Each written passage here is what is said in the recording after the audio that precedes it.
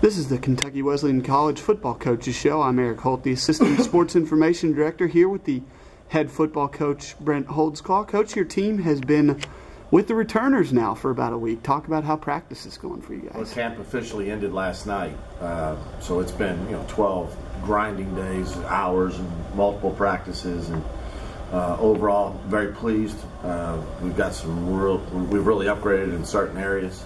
Uh, and I've obviously got some concerns about certain positions in terms of depth, uh, you know, and our health at this point in time. But overall, really excited about the being, a, you know, about a week away from our opener.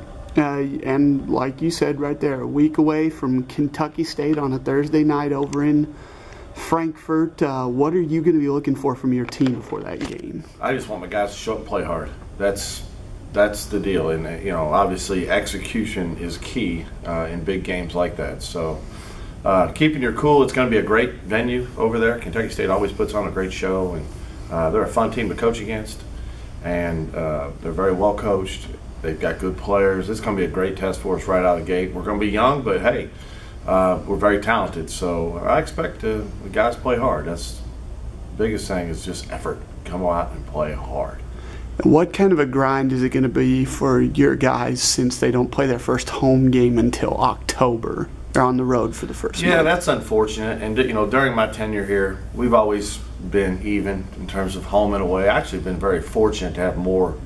Some years we've been six and five, and a couple years we were seven and four in terms of home games to away games.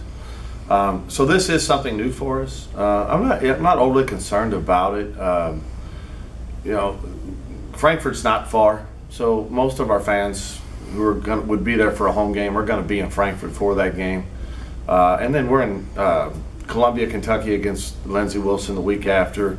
You know, that's an hour and a half away. So I, and then you know, obviously the long trip comes week three where we'll bust to North Dakota, but we'll be flying to, to, to Phoenix. So it's not. I mean, it's certainly not like the you know the friendly confines of playing at Steel Stadium, but uh, I'm not overly concerned about that. It's going to be a good way for our, our team to grow up quick. That's a that's I guess the best way to put it. All right, coach. Thank you very much. Thank you.